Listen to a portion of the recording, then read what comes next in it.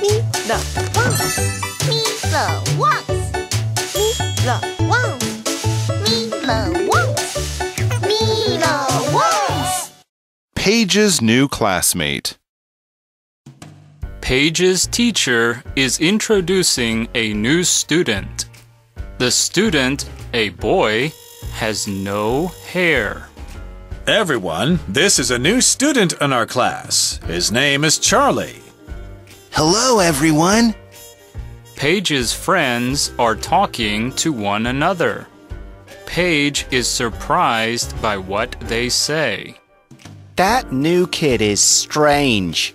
Why doesn't he have any hair? Let's not talk to him. That's not a very nice thing to do. Leave us alone, Charlie.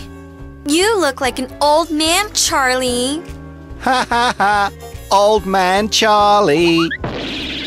Later, Paige is at home, telling her family about the problem. They're all being really mean, but what can I do about it? Don't talk to him either. You don't want to be unpopular. Maybe you'll go bold as well. Don't be so silly, boys. You should make friends with this new student. Later, Paige is in her room, thinking. What's more important, being popular or doing the right thing?